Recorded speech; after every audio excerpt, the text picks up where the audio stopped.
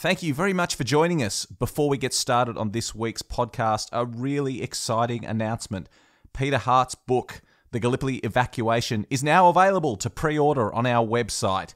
That's right, pre order the book. It'll be out in September, but get your hands on a copy early because anyone who pre orders the book will also receive an exclusive behind the scenes interview with Peter Hart that includes wonderful audio from Gallipoli veterans telling their story in their own words. It's absolutely extraordinary. In many ways, it's even more exciting than the book, but the book's pretty good too. So get your hands on the book, pre order it now on our website, and get that exclusive interview that you can download straight away, and then you'll get the book when it comes out in September. So, Peter Hart's The Gallipoli Evacuation, now available on the Living History website, which is livinghistorytv.com. That website again, livinghistorytv.com get your hands on the book. It's going to be something really special.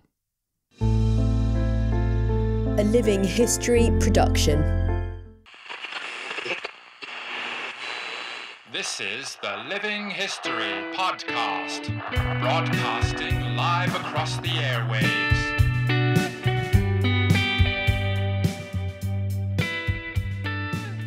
Hello, and welcome to a very special episode of Living History. Now, there's a young bloke called Adam Blum who has joined me on several tours to battlefields all over the world. And he's doing a lot of stuff to remember the Anzacs, and it's really fantastic to see. We need more young people embracing with this story. We need more young people keeping the history alive. And Adam is a great example of that group of young people that are doing that. And Adam as part of this effort to keep the memories of the Anzacs alive, has launched his own podcast. It's called True Blue History, and I recommend that you get out there and subscribe to that podcast and listen to it because he's doing some great work. He's getting some excellent historians on there to interview, and he's doing some really good stuff. So support Adam and young people who are keeping the Anzac memory alive by listening to True Blue History. And so you get a taste of the good work that Adam's doing here's an episode that he and I recorded recently about the Battle of Pozières. So it's coming up to the anniversary of the Battle of Pozières, so the timing is excellent. And so I thought I'd bring you this very special episode of the podcast, demonstrate the good work that Adam's doing on True Blue History. And when you finish listening to this, jump onto your favorite podcast app and subscribe to True Blue History because you'll be glad you did. So now it's over to Adam to hear all about the Battle of Pozières.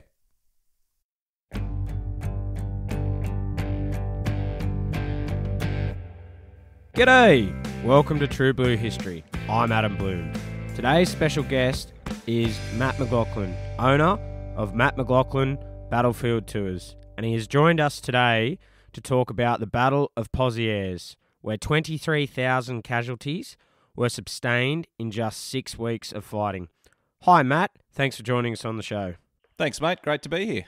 Matt, I'd just like to basically start and get a get an overview of where what Pozières like, where it is, and what we what we were doing, what was the battle, what were we trying to achieve, and was it a uh, success? Okay, well, the Battle of Pozières um, took place in 1916, in July and August 1916, and the town of Pozières, the village of Pozières, is in the Somme region of northern France. So this is about an hour and a half north of Paris. Um, and this was the region where the Battle of the Somme, the very famous Battle of the Somme, was taking place in 1916. So the Battle of the Somme started on the 1st of July, 1916, and Australian troops weren't involved in those opening stages of the Battle of the Somme. Um, and the Battle of the Somme soon turned into this massive action, one of the biggest battles the world had ever seen. And the Australians were drawn in to assist with that battle in later in July, the 23rd of July, the Australians joined the fight when they attacked at the Battle of Pozières uh, at this little village. And the reason that Pozières was important is it wasn't really anything to do with the village. It was just simply the case that it was the highest point of the ridge on the Somme battlefield, known as Pozières Ridge. And so it was really important that the British captured this ridge. So to do that, they had to take the village of Pozières. And I should say at this stage that after years of fighting, there was no village left to be captured. It was merely just a, a moonscape of craters uh, where the village had once been. And so uh, the uh, it was quite a task for the uh, Aussies to to come into the line on the 23rd of July and and capture the ruins of the village and to take the German trenches nearby. Um, yeah, so basically the Australians came into the line on 23rd of July and they fought there for about six weeks. Um, and the battle was successful. They did succeed in capturing the village of Pozières and the surrounding area, uh, but they lost 23,000 men killed or wounded in six weeks of fighting, which makes it the most deadly military action Australian troops have ever been involved in. So that's why we remember Pozières today. If we read through the history and we see the the blockhouse, Fort Gibraltar, and we was there other objectives that weren't reached uh, in while we were in the six weeks of fighting? Um, yeah, there were. I think, like any action in the First World War, um, things changed as time went on. So that the main landmarks in the area were so that there was, as I said, there was no village. In fact, the soldiers said that the only way they could tell where the village had been was because of the uh, the, the the earth was slightly redder because of the dust from the bricks of where the village had been. So there was like a red hue on the ground showing where the where the village had formerly stood. But behind the village were two very large German trenches called OG1 and OG2, meaning standing for Old German, Old German 1 and 2. And behind that was a windmill, um, which had stood there for centuries. But by the time of the First World War the early fighting had absolutely destroyed that windmill. So all that was left was a rough mound with some bricks and some concrete emplacements left on it. So those were the only landmarks on the battlefield. And immediately next to Pozières was a farm called Mouquet Farm, or known to the soldiers as Moocow Farm or Mucky Farm, as the Australians called it and Mouquet Farm was uh, was was next to Pozières, and that was another one of the objectives that was set for the Australians. Um, and so the fighting. The fighting for Pozières and Mouquet Farm is, uh, you can either look at it as one collective action, which is what we do when we say the six weeks of fighting, um, but they're actually quite distinct phases of the battle. So the attack on the village of Pozières and those trenches and the windmill, and then the attack on Mouquet Farm. And the Australians were not successful in capturing Mouquet Farm. Uh, they basically fought and fought and fought and edged their way forward until they were exhausted after six weeks of fighting, and then handed over to the Canadians, and the Canadians completed the capture of Mouquet Farm. Um, but it was a, an extraordinary achievement, the taking of Pozières, but we remember it just for the the sheer destruction of the Australian forces involved. Um, so to lose 23,000 men in six weeks of fighting just shows you the level of of intensity that was going on in that uh, very small area that's that's a great overview. So, how many like how many of our divisions were involved in the battle? There were three divisions. So the first division came in on the 23rd of July, uh, and they only fought for three days. They only fought up until the 26th of July and lost 5,000 men in that time. So we remember the first division as the famous division from Gallipoli. Um, they came in, and this was their first major action on the Western Front. Um, they lost 5,000 men in only three days of fighting, they were then replaced by the second division, which came in. The second division had also served at Gallipoli.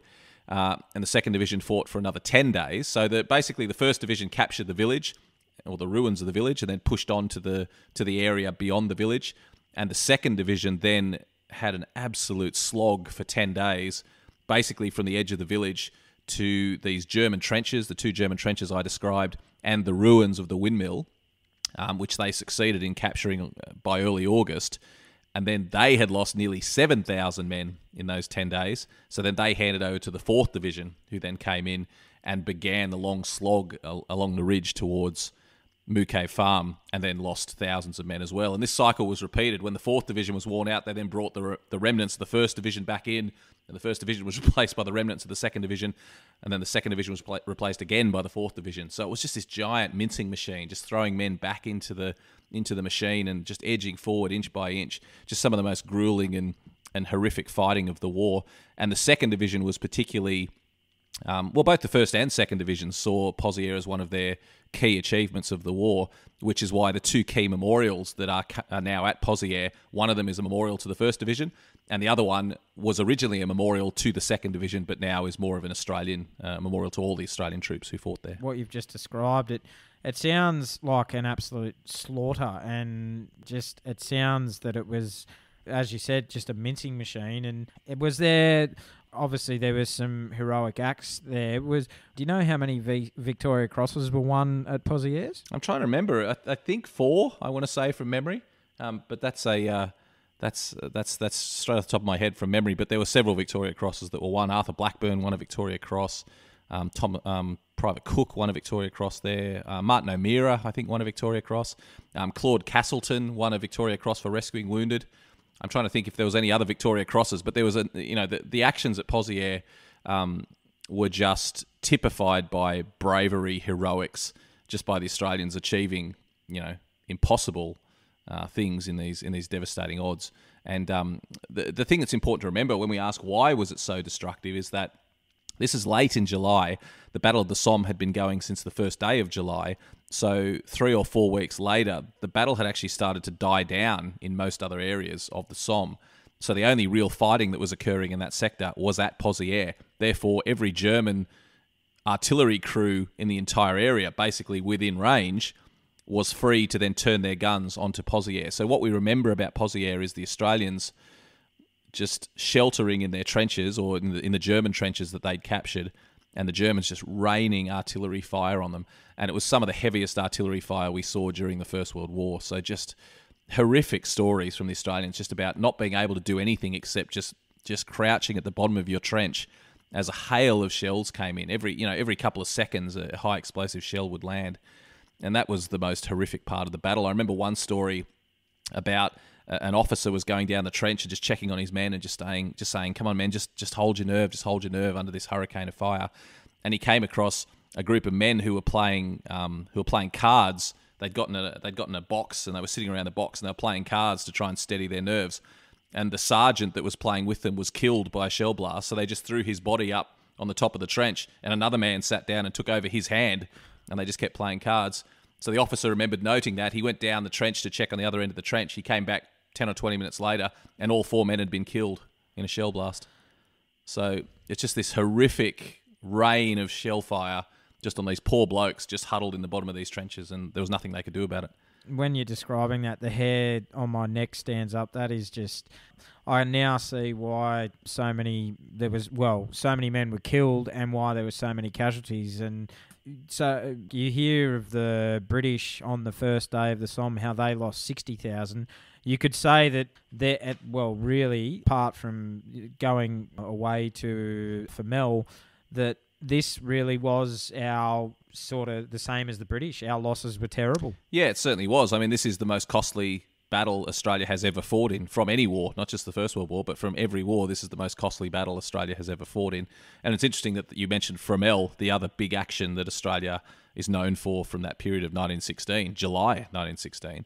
Um, and Fromelles is known as the worst 24 hours in Australian military history when we lost five and a half thousand men in that one battle a bit further to the north. And so what it means is that combined, the men that we lost, the nearly 30,000 men we lost, um, is you know in those, is those first two battles is more than we lost in the Gallipoli campaign. So more men died in the first two battles on the Western Front than we lost in the entire eight months at Gallipoli. So it's just extraordinary, um, just the, the, the level of death and destruction that, that went on on the Western Front compared to what had happened at Gallipoli. I've actually got a, I'll, if, if you don't mind, I've got a quote here from one of the soldiers that was there, which might shed a little bit of light on what it was like to be at Pozières. So absolutely, mate. Yeah, that'd be great. So this is a quote from um, Second Lieutenant John Raws from Melbourne, uh, and he was in the 23rd Battalion, so in the uh, in the Second Division. Uh, and this is his uh, his quote about what it was like to be at Pozières. All is buried and churned up again and buried again. The sad part is that, that one can see no end to this. If we live tonight, we have to go through tomorrow night, and next week, and next month. Poor wounded devils you meet on the stretchers are laughing with glee. One cannot blame them. They are getting out of here. We are lousy, stinking, ragged, unshaven, sleepless. I have one puttee, a dead man's helmet, another dead man's gas protector, a dead man's bayonet. My tunic is rotten with other men's blood, and partly spattered with a comrade's brains. So Raws wrote that in early August from Pozières, uh, and he was killed in the advance on Mouquet Farm on the 23rd of August. So he wrote that two weeks before he was killed himself.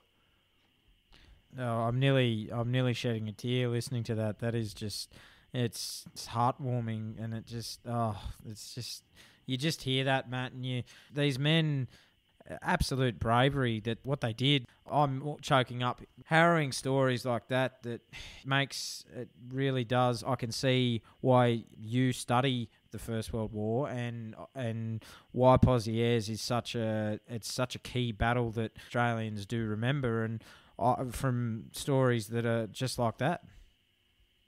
Yeah, it is really one of those battles that you you can't help but be touched by.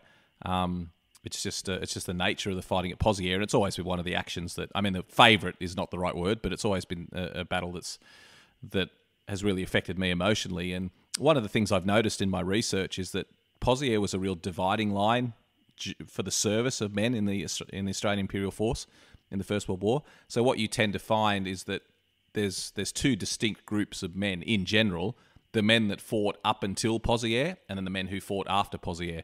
Because so many were killed and wounded at Pozieres, there was really a dividing line um, in, the, in in the service of the AIF. And I mean, you, you obviously see men who served from Gallipoli throughout the war. Obviously, there are exceptions, but I'm always amazed at how many people you see either served in that first group, served at Gallipoli, and then in the early battles on the Western Front, and then were killed or wounded at Pozieres, and the group of men who then enlisted at after Pozieres and then fought on through 1917 and 1918. It's really quite extraordinary the effect this one battle had.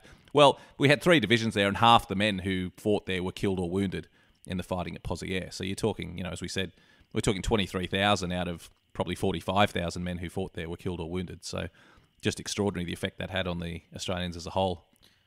Oh, abs- absolutely. So, of the survivors, if they were lucky to survive, Matt, what did they? Obviously, they went back in again and in after they had a bit of rest. And so, what came of the battle once once the six weeks was over? Well, it was pretty important. I mean, we handed over the Canadians, and they completed the capture of Mouquet Farm by the end of September. Uh, and it was pretty important in the, the sort of stepping stone of the Battle of the Somme because it's hard to describe without looking at a map, but there's a long ridge, and at one end of the ridge is Pozieres, and at the other end of the ridge is a village called Thiepval. And Thiepval was absolutely crucial on the first day of the Somme fighting. The, the British expected to capture it in the early hours of the battle. As it was, it took them months and months and months. It took them four months to capture Thiepval, as it happened. And today, Thiepval, as the centre of some of the toughest fighting of that Somme battle, um, is where the great British memorial to the missing from the Somme is, the Thiepval Memorial, the huge red brick. Absolutely stunning memorial. Um, so that's at Thiepval because Thiepval was so important. So if you imagine that Pozieres is at one end of a ridge and Thiepval is at the other, the British at the start of the Battle of the Somme were trying to come up the ridge, just attacking Thiepval head on, and were absolutely wiped out trying that. So what they did is they changed tactics, and after the Australians and then the Canadians succeeded in capturing Pozieres and Mouquet Farm, the British then used that as a, a stepping off point to then attack along the top of the ridge, uh, which they were able to do. And then, so by November, they had actually completed the capture of Thiepval and a number of other key points along that ridge. So, yes, it was important to the very important to the outcome of the Battle of the Somme, and the Battle of the Somme was very important. But the, the amazing thing is when you walk this ground today or drive this ground, it's so tiny. You know, it takes to get the road from Pozieres to Thiepval would take four, five, six minutes to make that drive from the village of Pozieres to the Thiepval Memorial. Um, and that's you're crossing land that took the British four months to capture and cost probably oh, literally hundreds of thousands of men were killed or wounded on both sides to just complete that um, that that short little advance. So, like so many things in the First World War, yes, it had a very valid purpose in the context of what they were trying to achieve during that war. But today, when we look back on it, and you just think, you know, at what cost to take these uh, these tiny little villages? Yeah, exa- exactly right. It, so, overall, of your opinion, was the historians claim that the Somme was a victory? Are, are you in like are you in that group as well that you do say it, it is a victory? Yeah, it's a it's a controversial question. The the Battle of the Somme went from the first of July until um, until November, so it was basically four months of some pretty tough fighting. And it depends. It really depends which way you look at it. It certainly it certainly wasn't the victory the British wanted it to be. The British and French. We shouldn't forget the French, who also fought very strongly on the Battle of the Somme. The British and French thought this was going to be the battle that ended the First World War. After two years of fighting, they thought this is it. This is the battle that's going to win it for us. And the plan was to bust through the German lines and to get cavalry in behind the Germans and to really roll up the German line and and and effectively destroy the German army in that uh, in that part of the battlefield.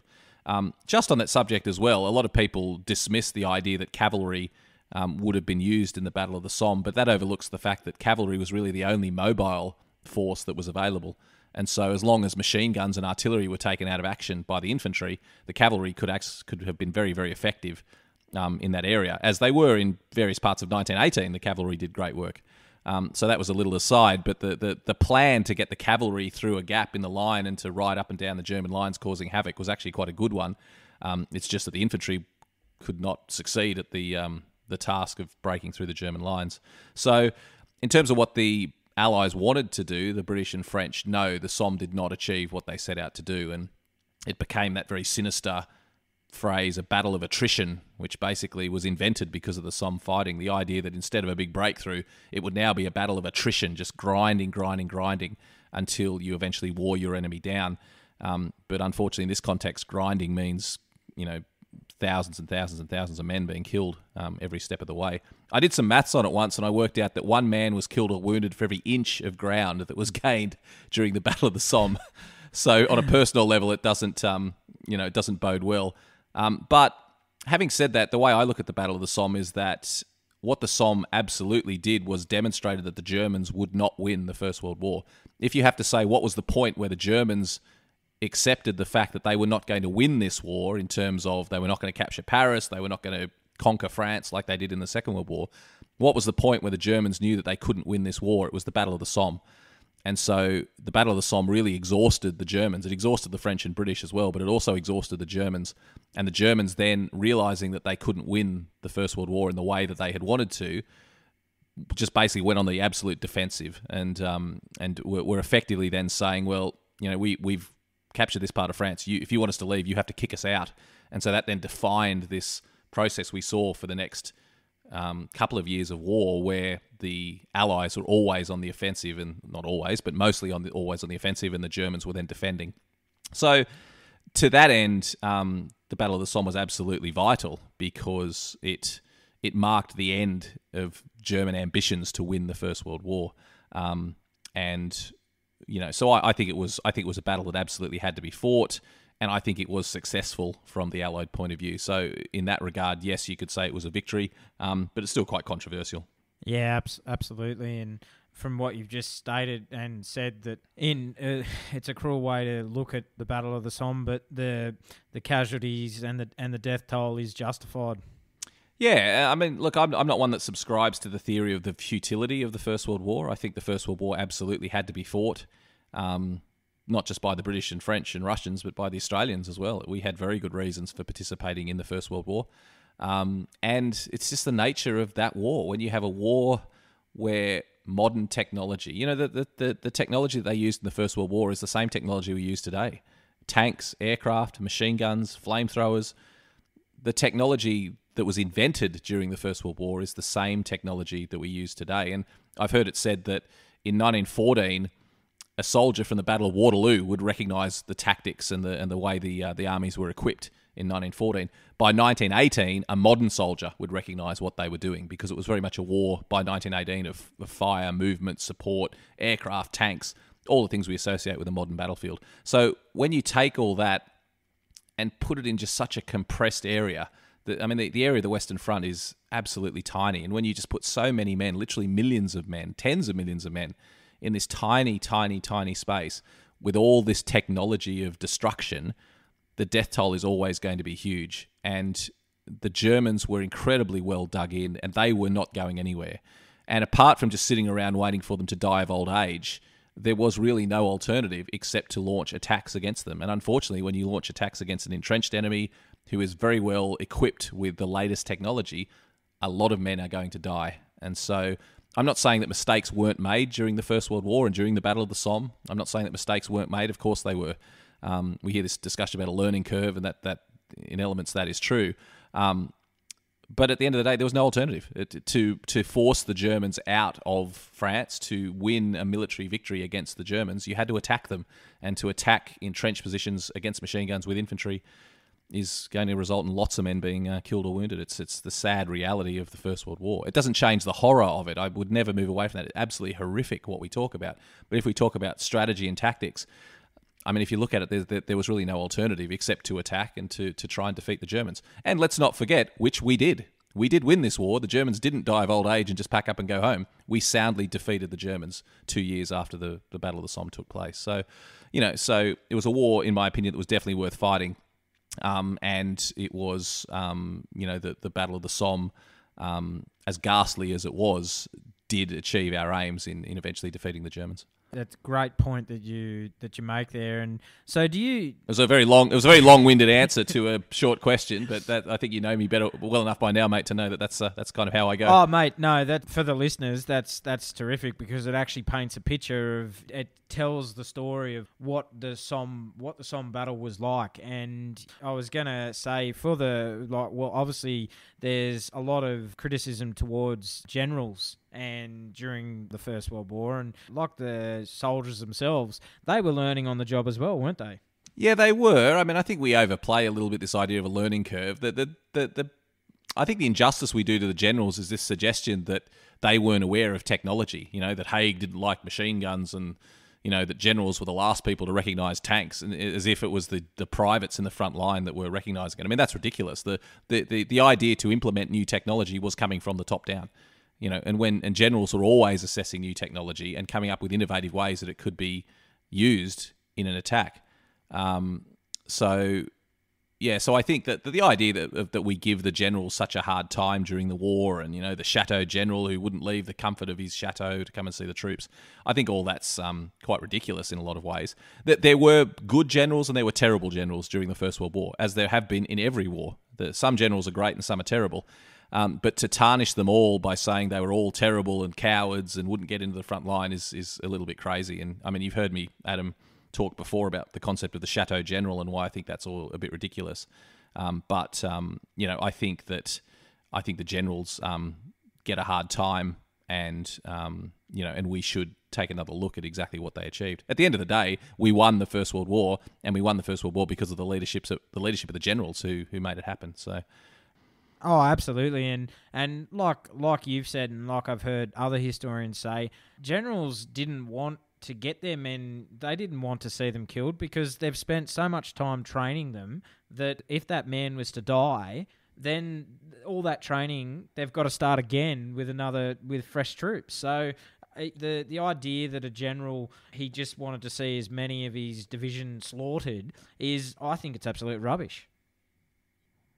Well, it doesn't even it doesn't even make any sense. Like, why would anyone with a finite resource that they're in charge of doing. Like you, you, think about any person that goes off to do their job every day, you have resources that you need to get your job done. Why would you want to squander those? It's just it doesn't even really pass the logic test.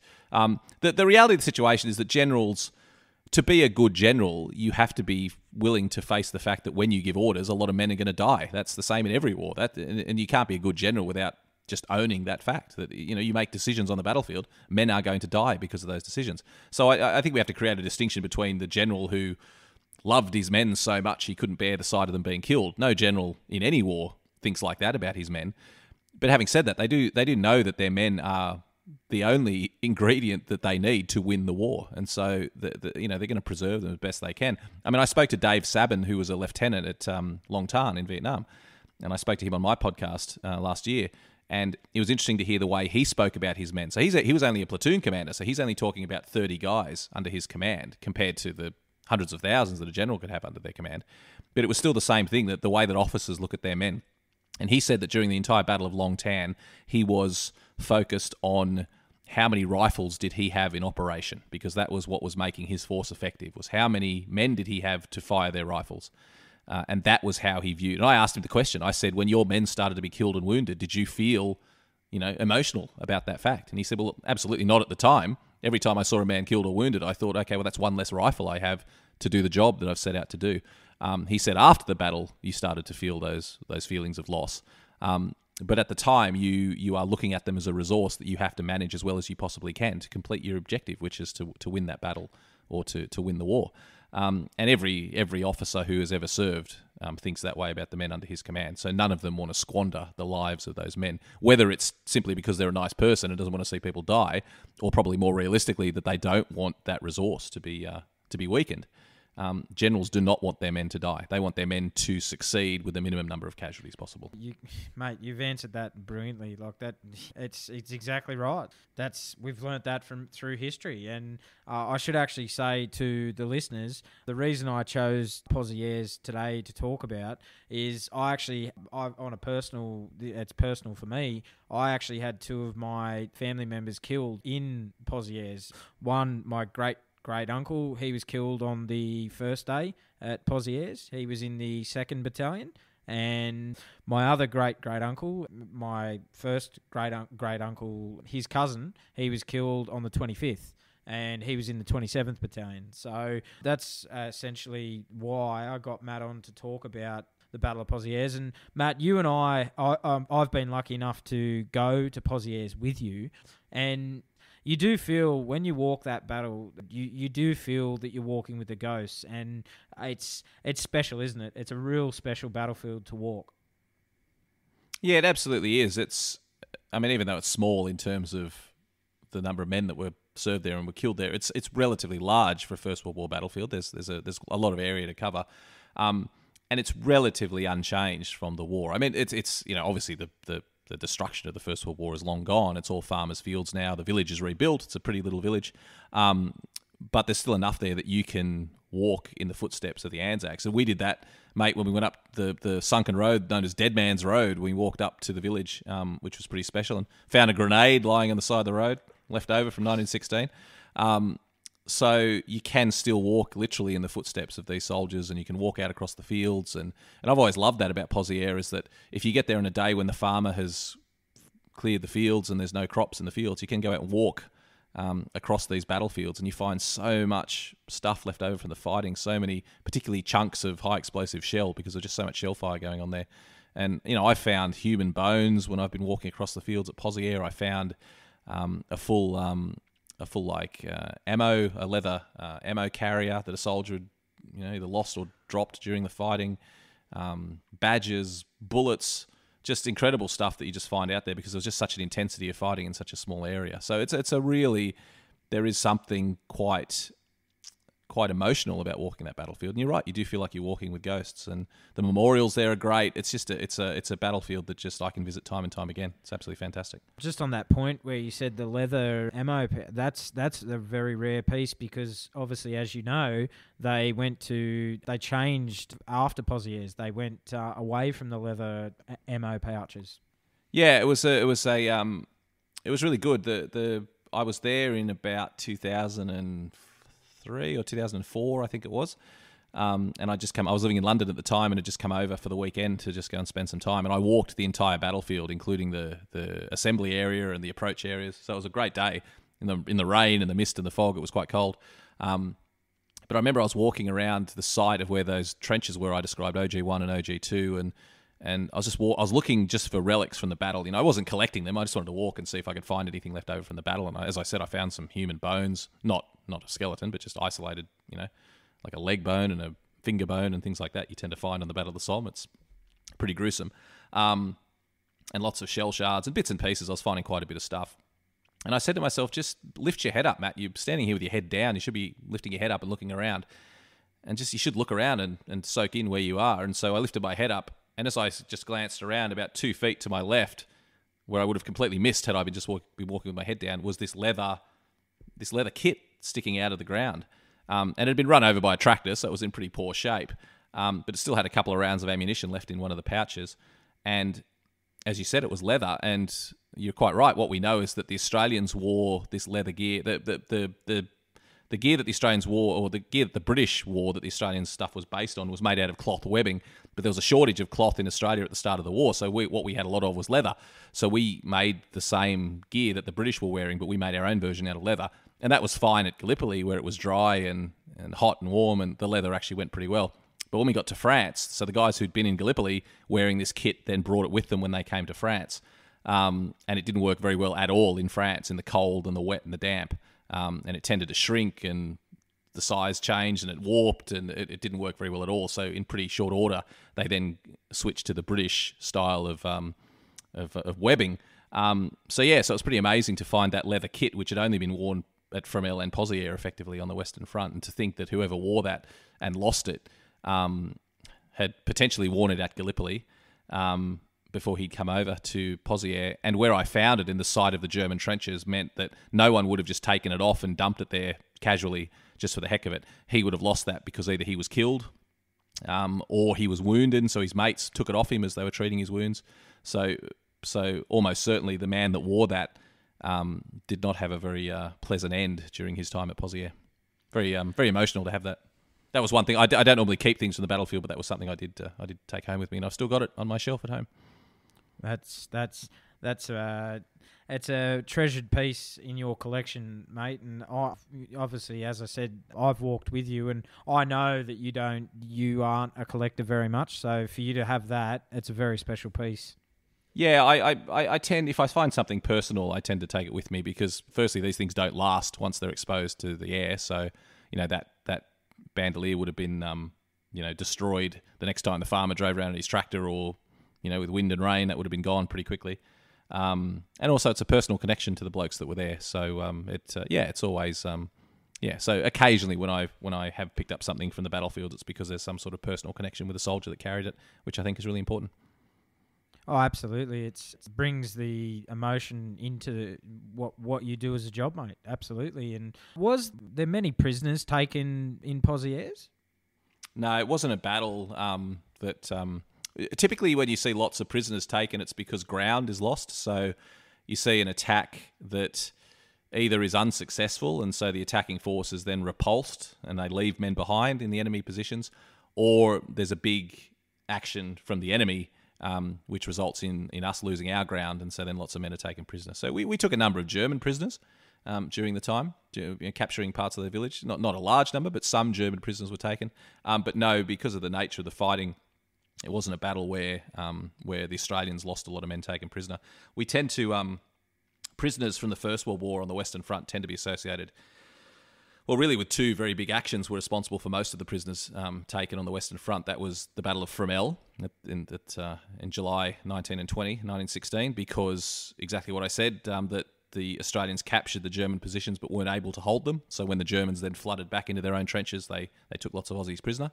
Um, and also the Battle of Bullecourt in 1917 because of exactly the same reason. The, uh, the, the first Battle of Bullecourt in April 1917 for the same reason that um, and I think the numbers I think 1100 men were captured at First Bullecourt which was the most Australians uh, taken in a single action until the fall of Singapore in the Second World War so um, Aaron Pegram who I think you're going to have on the show at some stage has just written an amazing book about Australian prisoners captured on the Western Front I think there's about 3000 um, that Australians were captured during the course of the war um, on the Western Front. So quite a remarkable investigation into part of the story that we um, you know we don't really know very well. And of course, those two battles, Fromelles and Bullecourt, um, were responsible for about 1,500 of those 3,000 men that were taken prisoner during the entire war.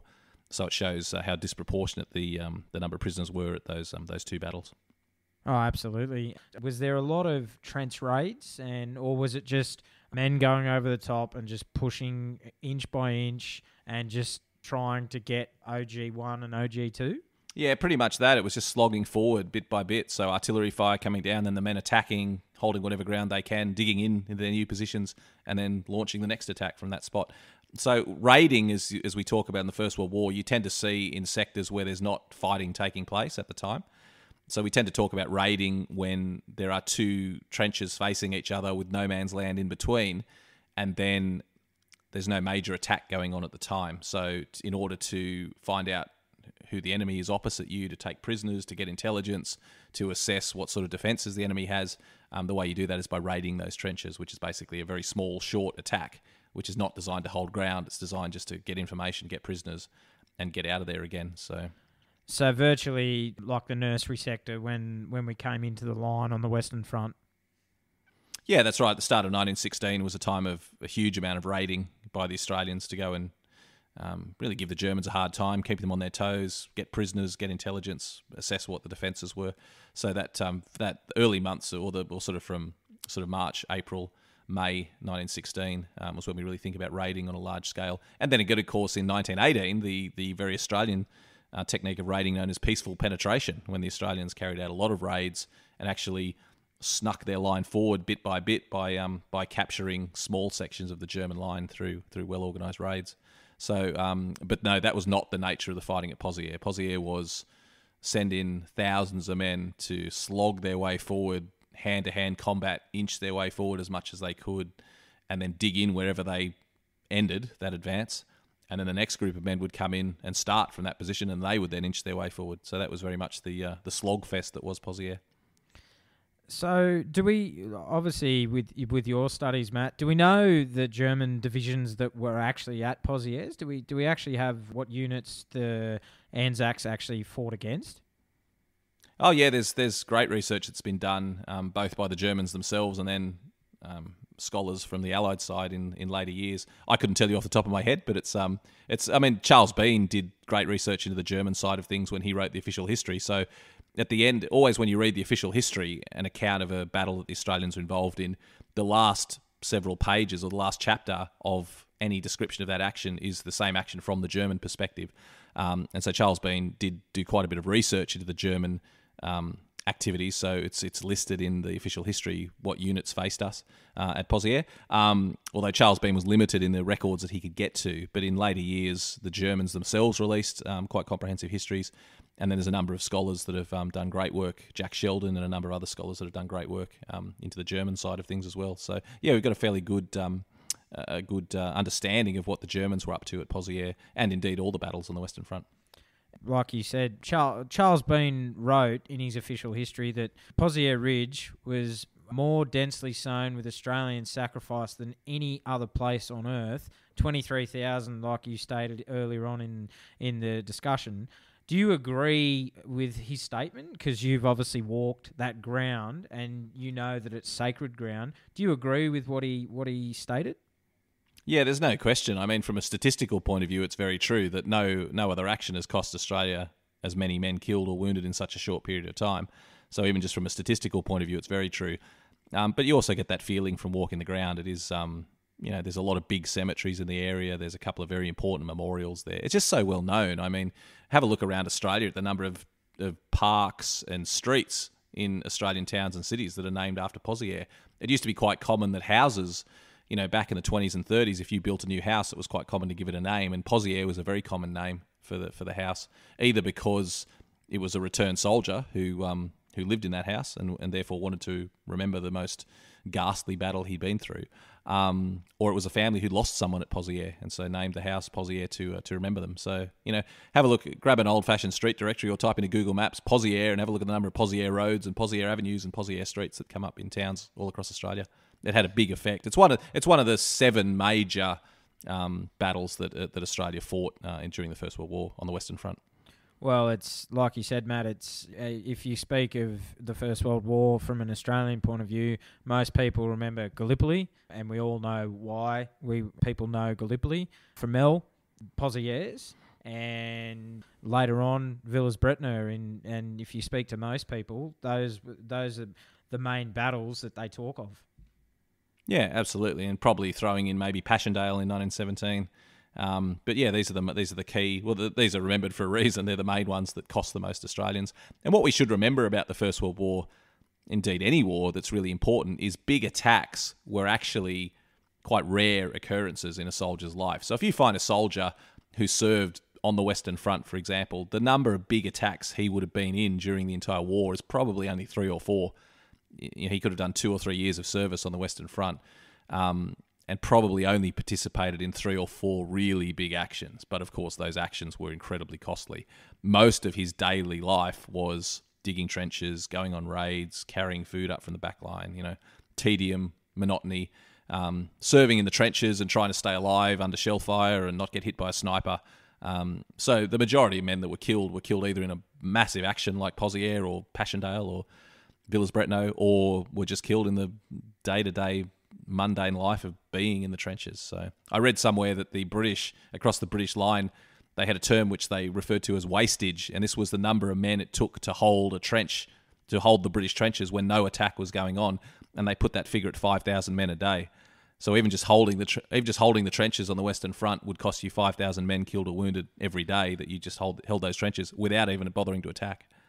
Mate, that's that figure, like I, I knew it would have been high, but f- five thousand a day. That's that's every day. Every day for three years. Yeah. this was a savage war. That, like, make no mistake, this was a savage war. Uh, absolutely, absolutely, mate. It's. I would have thought yeah, myself uh, a few, you know, maybe two thousand men a day, but five thousand men a day every day.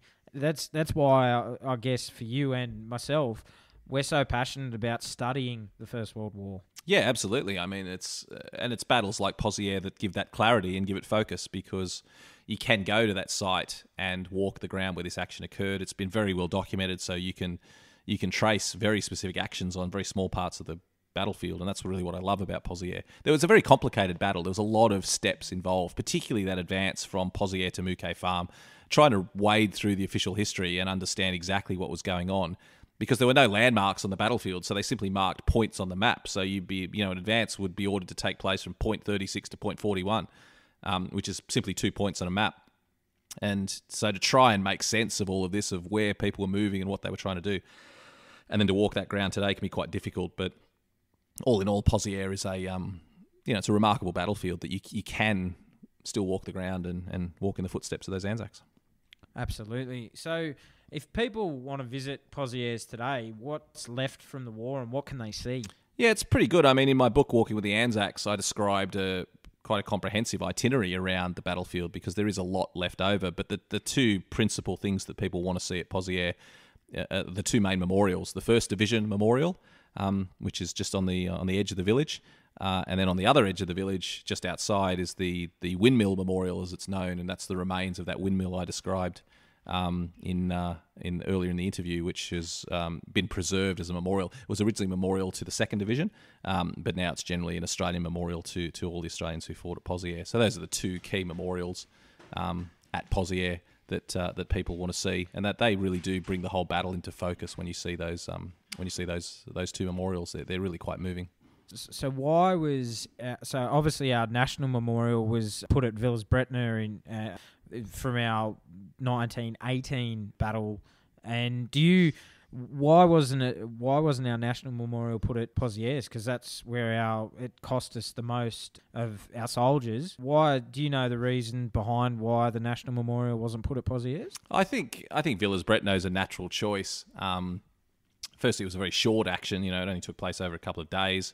I mean, really, the one day, Anzac Day. Um, you know, the, the the evening of Anzac Eve uh, in 1918. Um, you know, it was it was a battle that that materially, you know, affected the outcome of the war in many ways. Um, Villers-Bretonneux. So yeah, Pozières was a, a, a slog, a hard, difficult marathon of slogging forward. You know, and yes, we achieved our objectives, but at the end of the day, it's debatable what the bigger picture was about that objective. You know, so Villers-Bretonneux was very clear in in what happened. The Australians, firstly, the Australians were operating on their own at Villers-Bretonneux. They did a great job. Um, you know, in one day of fighting, which coincidentally was Anzac Day, they swept through and captured the village back from the Germans. So Villers-Bretonneux was a great victory. I mean, Villers-Bretonneux deserves its place as, as one of the most famous um, Australian actions and probably one of the greatest achievements of the war. Pozières, by comparison, is remembered for the hardship and the sacrifice and the, the destruction and the hanging on when anyone else would have given up. You know, that's that's what we remember about Pozières. So I think it's quite right that um, you know I'm sure they discussed it when they talked about where they were going to put our national memorial. But I think I, th- I certainly think there's a lot more glory at Villers-Bretonneux than there was at Pozières. No, I I tend to agree with that, and it I it's interesting that you brought up the windmill, and there was uh, you and I have been there. There's now a it's a controver- uh, This will probably be controversial, but I get really upset when with uh, what's happened at the windmill site. It's so I originally saw it for the private group bought the land at the, behind the windmill and actually made a memorial to the all the animals of the of the Great War, and I saw it before when it was when it was farmland, and it was it was amazing. It was it was a beautiful. You looked out over the battlefield, you could see. You stood on the on the remains of where the where the windmill was, and it's now there's there's gardens, there's trees that will eventually grow up and block the view to Thiepval, the beautiful, and across the battlefield.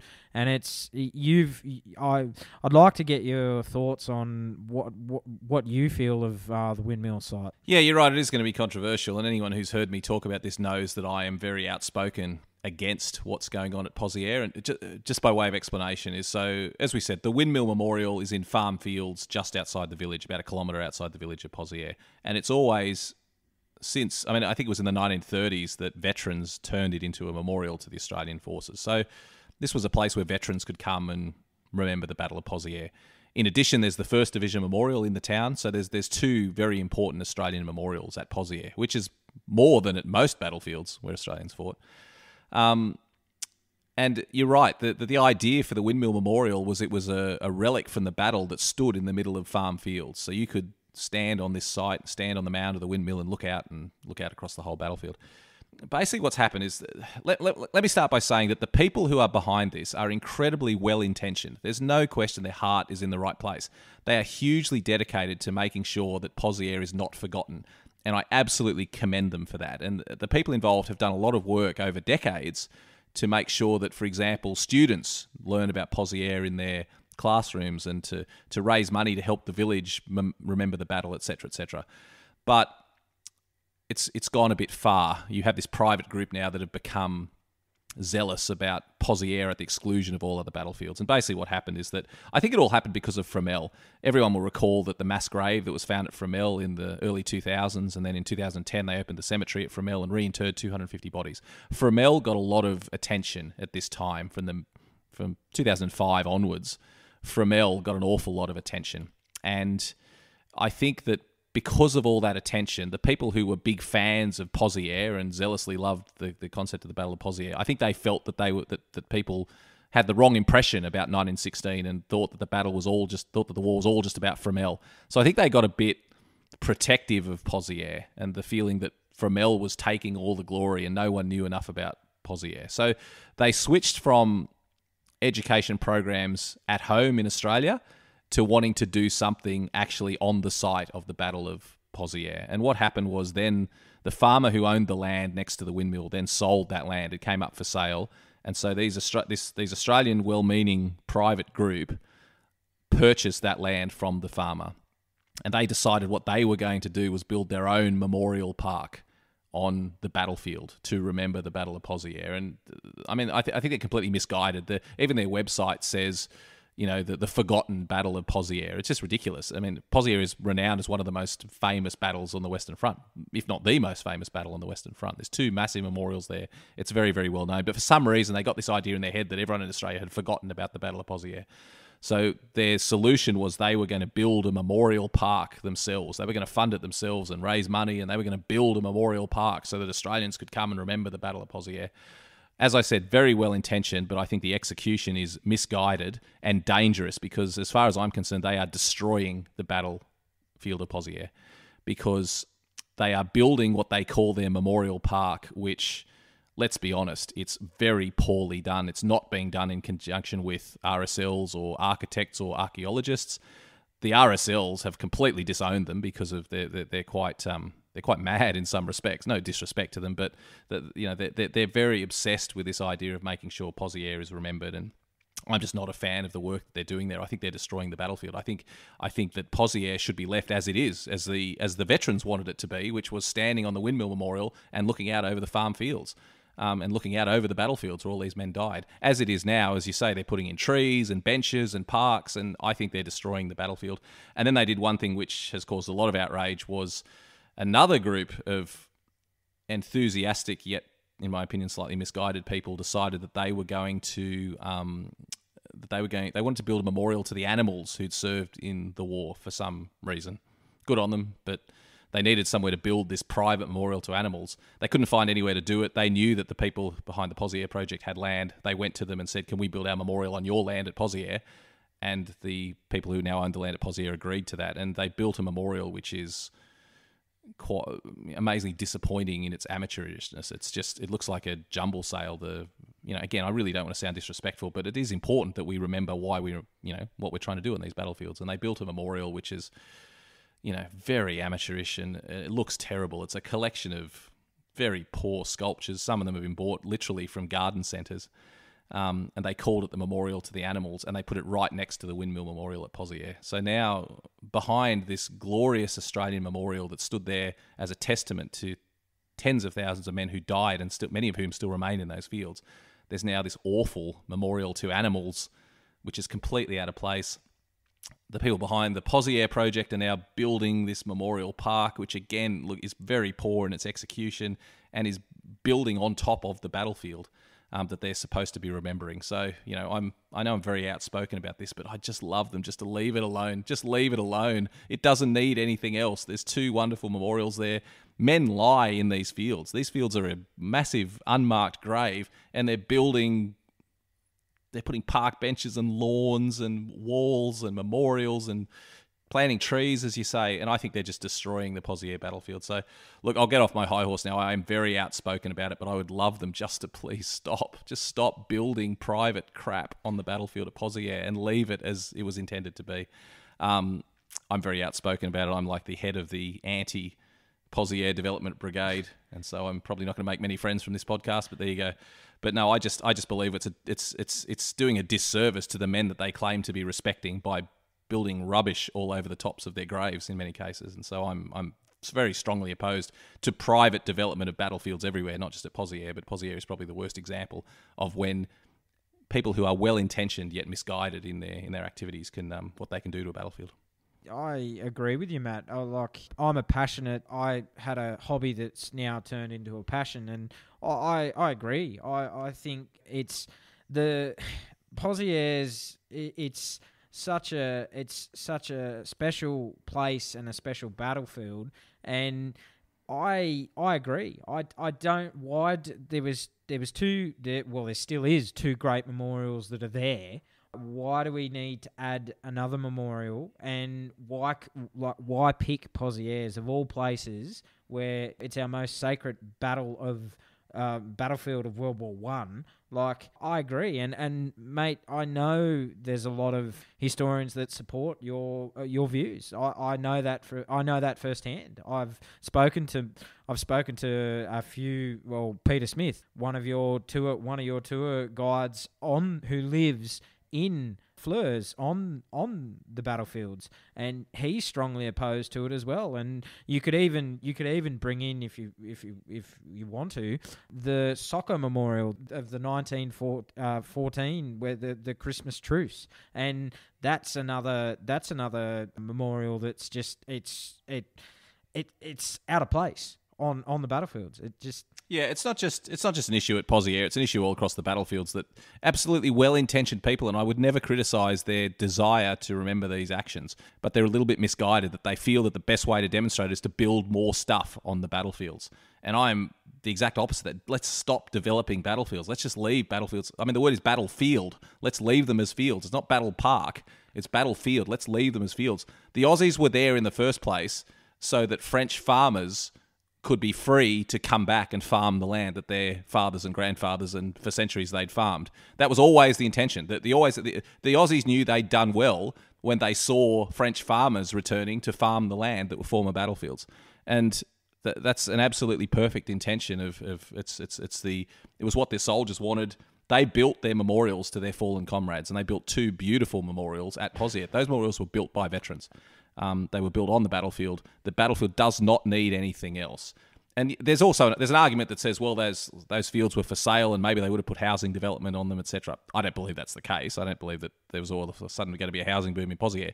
But even if that was the case, even if they wanted to protect the land, fair enough, purchase the land, but then donate it to Commonwealth war graves or to the you know to Australian war graves so it could be preserved as a as a as an area. You know, lease it back to the farmer so that it's protected, but then the farmer can still use it for for growing crops. I, you know, just don't build rubbish on the battlefield, and that's what it is. Unfortunately, and I'm being very rude here, I know, um, but it's just rubbish. Anyone that sees the photos, and most people don't like it. There's a small group of people that think it's nice, but most people that see it feel that it's out of place.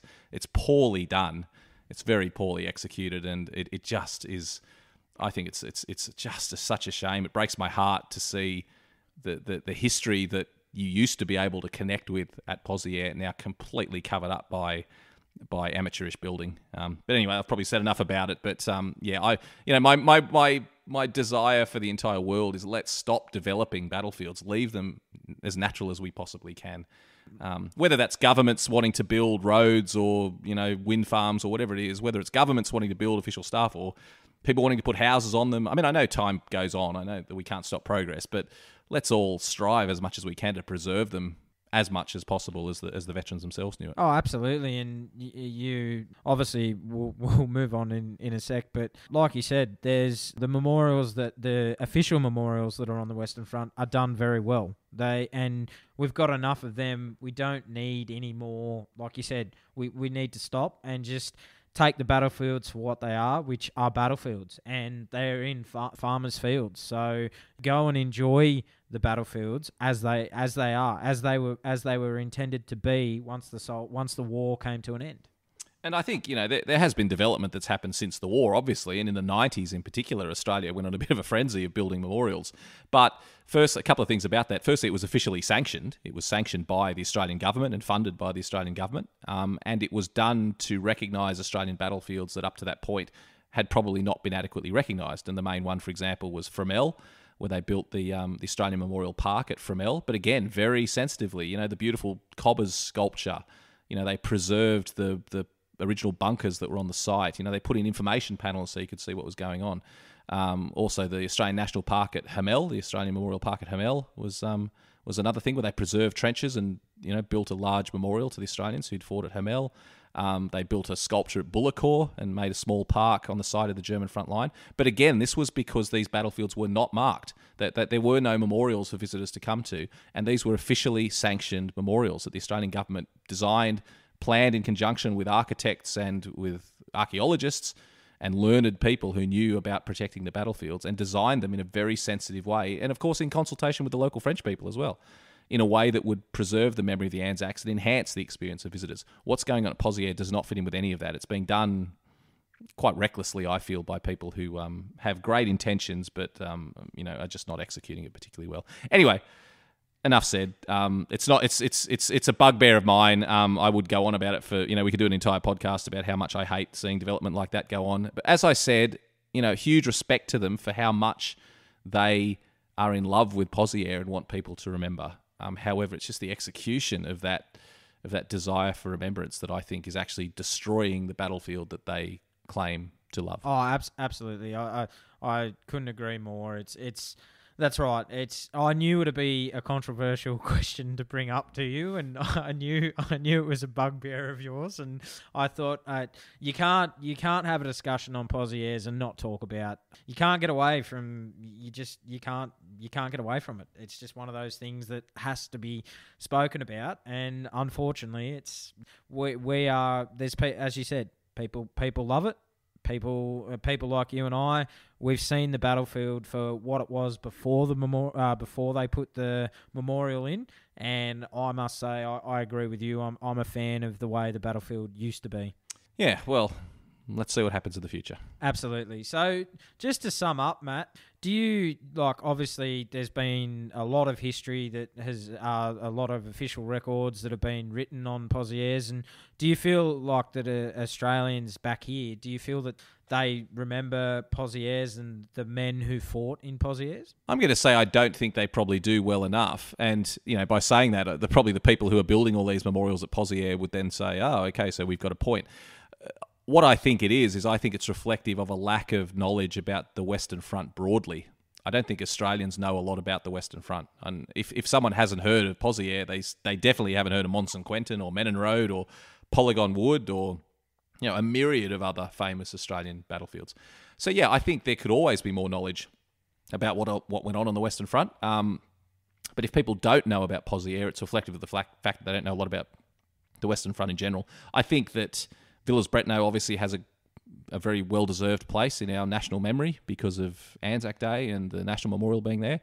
Fromelles has garnered a lot of attention uh, in recent years. Again, quite rightly. You know, you find 250 Australians buried in a mass grave and then identify 150 of them with DNA. That's deserving of being well known. So, um, you know, so I think Fromelles does deserve its place. And yes, there's there's probably a limited capacity for people to understand exactly what went on on the Western Front. So perhaps it does push battles like Pozières to the side a little bit but it's there for anyone that wants to know about it. There's, you know, hundreds of thousands, millions of words have been written about Pozières and its importance.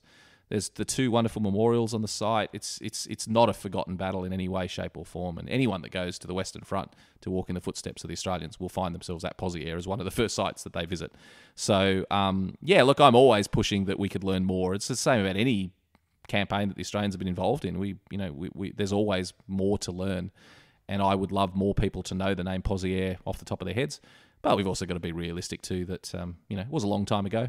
And it's you know you and I, mate, as we said in our last interview, you and I are um, really preaching to the choir a little bit because um, for for military enthusiasts, we do know the name Posse and we have a lot of respect.